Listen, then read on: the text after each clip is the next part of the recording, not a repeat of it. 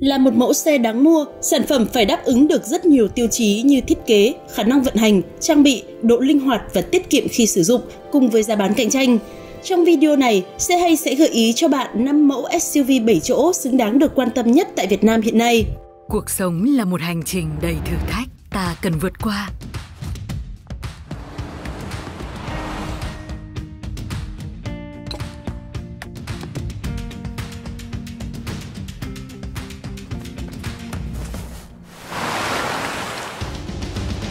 không bỏ cuộc. Vì cuối cùng, mọi nỗ lực đều là xứng đáng. Luôn có những hành trình đáng để ta mong đợi. Ford Everest Mitsubishi Outlander Outlander sở hữu ngôn ngữ thiết kế Dynamic Shield nổi tiếng và mang đặc trưng của thương hiệu xe hơi Nhật Bản. Tuy không phải một mẫu xe thực sự bắt mắt và dễ dàng gây thu hút ngay từ cái nhìn đầu tiên, nhưng vẻ đẹp của Outlander lại tới từ sự nam tính, mạnh mẽ, không phô trương và mang đậm tính thực dụng. Các trang bị tiện nghi của Outlander bao gồm cửa cốp sau đóng mở điện, hệ thống điều hòa tự động hai vùng độc lập cùng cửa gió điều hòa hàng ghế thứ hai, hai cổng sạc USB, hệ thống màn hình giải trí 7 inch, kết nối Apple CarPlay và Android Auto, ghế lái bọc da cao cấp chỉnh điện 10 hướng, bao gồm hệ thống chỉnh điện đệm lưng, hệ thống âm thanh Rockford Fosgate, lẫy chuyển số sau vô lăng, vân vân. Các trang bị an toàn bao gồm hệ thống 7 túi khí, phanh đĩa ở cả 4 bánh với công nghệ chống bó cứng phanh, phân bổ lệch phanh điện tử và hỗ trợ phanh khẩn cấp hệ thống hỗ trợ khởi hành ngang dốc, hệ thống cân bằng điện tử, hệ thống cảnh báo điểm mù, hệ thống cảnh báo phương tiện cắt ngang khi lùi xe, hệ thống kiểm soát chân ga khi đang phanh gấp. Trên phiên bản cao cấp Premium 2.4, Mitsubishi Outlander còn có thêm các công nghệ như hệ thống đèn pha tự động, gương chiếu hậu trong xe chống chói tự động, hệ thống cảnh báo và giảm thiểu va chạm phía trước và hệ thống cảnh báo điểm mù. Mitsubishi Outlander có một không gian sử dụng rộng rãi, thoải mái với cấu hình 7 chỗ ngồi, phù hợp cho nhu cầu di chuyển của một gia đình. Chưa hết, với khoảng sáng gầm xe đạt 190mm và bán kính quay đầu 5,3m, Mitsubishi Outlander còn chứng tỏ sự linh hoạt và đa dụng của mình trên mọi loại địa hình, điều kiện vận hành từ đường phố đô thị chật hẹp tới những con đường cao tốc hoặc đại lộ rộng lớn. Outlander được trang bị hai tùy chọn động cơ bao gồm động cơ xăng 2.0 lít Mivec 4 xi lanh cho công suất tối đa 143 mã lực và mô men xoắn cực đại 196 Nm. Lựa chọn thứ hai là động cơ xăng 2.4 lít Mivec 4 xi lanh cho công suất tối đa 167 mã lực và mô men xoắn cực đại 222 Nm. Xe đi kèm với trang bị hộp số tự động vô cấp CVT Invec 3. Ngoài ra, Mitsubishi Outlander cũng sở hữu lẫy chuyển số tích hợp trên vô lăng có thể giả lập 6 cấp số. Trên hai phiên bản động cơ 2.0 lít sử dụng hệ dẫn động cầu trước và trên phiên bản 2.4 lít sử dụng hệ dẫn động 4 bánh. Mitsubishi Outlander chỉ tiêu thụ 7,2 lít cho 100 km trên phiên bản 2.0 lít và 7,7 lít cho 100 km trên phiên bản 2.4 lít khi chạy đường hỗn hợp. Outlander hiện đang được bán ra với 3 phiên bản bao gồm 2.0 CVT, 2.0 CVT Premium và 2.4 CVT Premium. Cùng với đó là mức giá niêm yết tương ứng 825 triệu, 950 triệu và 1 tỷ 058 triệu Việt Nam đồng. Ford Everest là cái tên tới từ phương Tây duy nhất trong danh sách 5 mẫu xe SUV 7 chỗ đáng mua lần này. Đúng như nguồn gốc xuất xứ, phong cách thiết kế của Ford Everest mang đậm hơi thở của các mẫu xe hơi tới từ nước Mỹ. To lớn, cơ bắp và vững chãi chính là những cụm từ có thể dùng để miêu tả về ngoại hình của Everest. Các trang bị tiện nghi của Everest bao gồm ghế bọc da với ghế lái chỉnh điện, cơ tùy phiên bản, điều hòa tự động hai vùng, chìa khóa thông minh, khởi động bằng nút bấm, gương chiếu hậu chỉnh điện, màn hình giải trí 8 inch cảm ứng có kết nối điện thoại thông minh và hệ thống sinh ba vô lăng bọc da kèm các phím chức năng, hệ thống âm thanh 10 loa, cửa sổ trời toàn cảnh trên tùy phiên bản. Các trang bị an toàn bao gồm 7 túi khí, cảm biến trước sau, camera lùi, phanh ABS, EBD, hệ thống cân bằng điện tử, hệ thống hỗ trợ khởi hành ngang dốc, hệ thống hỗ trợ đỗ xe chủ động, kiểm soát đổ đèo, cruise control, hệ thống cảnh báo điểm mù kết hợp cảnh báo phương tiện cắt ngang phía sau, cảnh báo lệch làn và hỗ trợ duy trì làn đường, cảnh báo va chạm trước, kiểm soát áp suất lốp và hệ thống chống trộm.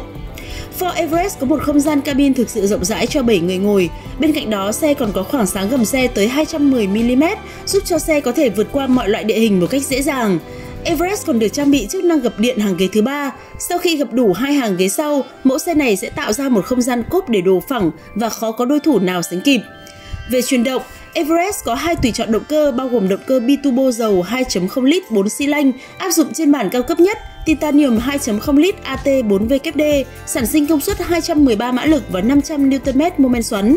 Tiếp tới là động cơ dầu tăng áp 2.0 lít 4 xi lanh áp dụng trên 4 phiên bản còn lại, sản sinh công suất 180 mã lực và 420 Nm mô xoắn. Đi kèm với đó là trang bị hộp số tự động 10 cấp.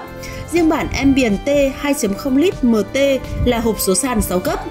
Trên phiên bản cao cấp nhất Titanium 2.0 lít AT4WD, Everest được trang bị hệ dẫn động 4 bánh, kết hợp với khoảng sáng gầm xe 210mm, các trang bị vận hành và hệ thống khung gầm vững chắc. Everest được đánh giá là một trong những mẫu SUV có khả năng vượt địa hình tốt nhất trên thị trường hiện nay.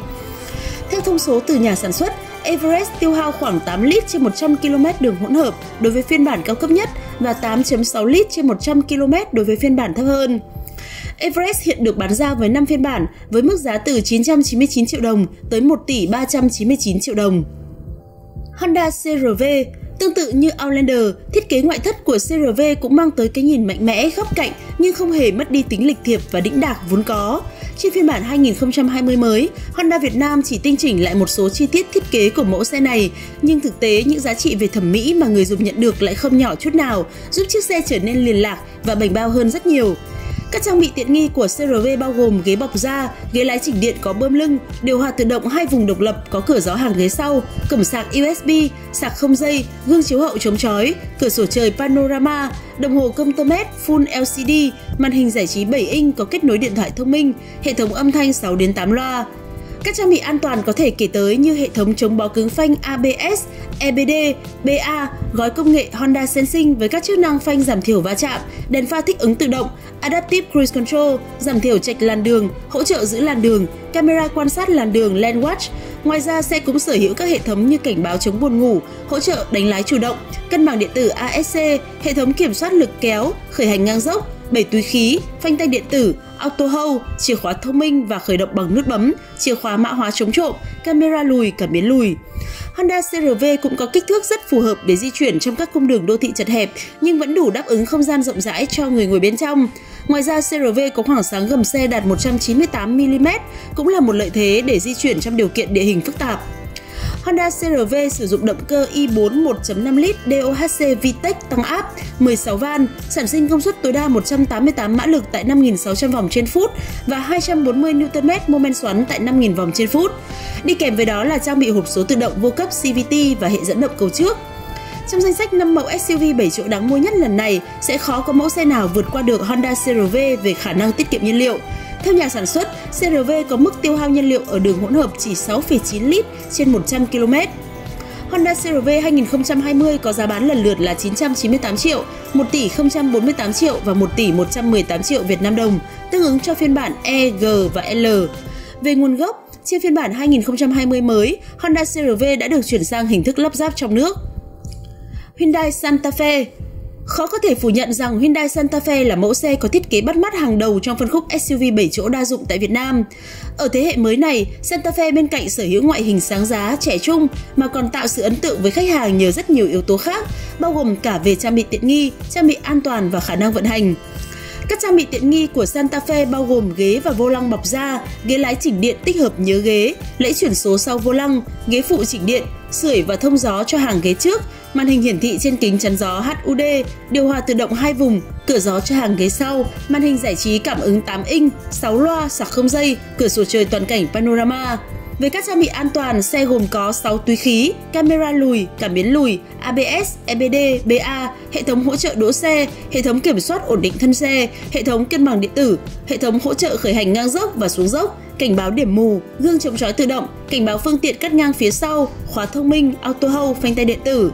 Hyundai Santa Fe sở hữu cho mình một không gian cabin đủ rộng rãi cho 7 người ngồi với các tiện nghi cao cấp. Santa Fe 2019 được bán ra tại Việt Nam với 6 phiên bản, hai lựa chọn động cơ gồm động cơ 2.4 GDI và động cơ 2.2 EVGT, tương ứng với hai lựa chọn hộp số tự động 6 cấp Siptronic và tự động 8 cấp. Động cơ xăng Theta 2 2.4 lít, phun xăng trực tiếp GDI cho công suất tối đa 188 mã lực và mô men xoắn cực đại đạt 241 Nm. Mọi phiên bản sử dụng động cơ xăng sẽ đi kèm hộp số tự động Siptronic 6 cấp. đối với phiên bản máy dầu là động cơ diesel R2.2 lít CRDI cho công suất tối đa 202 mã lực và mô men xoắn cực đại 441 Nm, đi kèm hộp số tự động 8 cấp. Xe có sẵn 4 chế độ lái bao gồm Eco, Normal, Sport và Smart. Theo nhà sản xuất, Hyundai Santa Fe có mức tiêu hao nhiên liệu đường hỗn hợp là 8,65 lít trên 100 km với bản 2.4 GDI, 8.6 lít trên 100 km với bản 2.4 GDI Hatchback, 6.66 lít trên 100 km với bản 2.2 GDI Hatchback và chỉ 5.94 lít trên 100 km với bản 2.2 CRDI. Hiện tại Hyundai Santa Fe đang có giá bán chính hãng từ 995 triệu tới 1 tỷ 245 triệu Việt Nam đồng, tương ứng cho 6 phiên bản. Mazda CX-8 về thiết kế, CX-8 sở hữu phong cách thiết kế trẻ trung, bắt mắt và rất thời thượng. Mẫu SUV 7 chỗ này thừa hưởng thiết kế Kodo thế hệ thứ hai, tương tự đàn em CX-5. Do đó, CX-8 là mẫu xe đặc biệt thu hút tập người dùng trẻ trung, ưa thích sự năng động và thời trang. Các trang bị tiện nghi trên Mazda CX-8 bao gồm ghế da Napa, ghế lái chỉnh điện kèm nhớ ghế, hệ thống 10 loa Bose, hệ thống điều hòa tự động 3 vùng độc lập với cửa gió ở cả ba hàng ghế, hệ thống Mazda Connect, phanh điện tử, Auto Hold, HUD, màn hình giải trí 7 inch, các cổng kết nối USB, phanh tay điện tử, cửa sổ trời, rèm che nắng phía sau chỉnh điện, vân vân. Trang bị an toàn của Mazda CX-8 gồm có gói trang bị an toàn iActive Sense với các chức năng hệ thống mở rộng góc chiếu đèn trước theo hướng đánh lái AFS, hệ thống tự động điều chỉnh chế độ đèn chiếu xa HBC, hệ thống đèn thích ứng thông minh ALH, cảnh báo phương tiện cắt ngang khi lùi RCTA, cảnh báo chạch làn đường, hỗ trợ giữ làn, hỗ trợ phanh thông minh trong thành phố phía trước, hỗ trợ phanh thông minh trong thành phố phía sau, hỗ trợ phanh thông minh SBS, hệ thống điều khiển hành trình tích hợp radar MRCC, hệ thống nhắc nhở người lái tập trung DAA. Ngoài ra, xe còn có các trang bị khác như 6 túi khí, phanh ABS, EBD, BA, hệ thống cảnh báo phanh khẩn cấp ESS, hệ thống cân bằng điện tử DSC, hệ thống kiểm soát lực kéo chống trượt TCS, hệ thống hỗ trợ khởi hành ngang dốc HLA, camera 360 và cảm biến trước sau.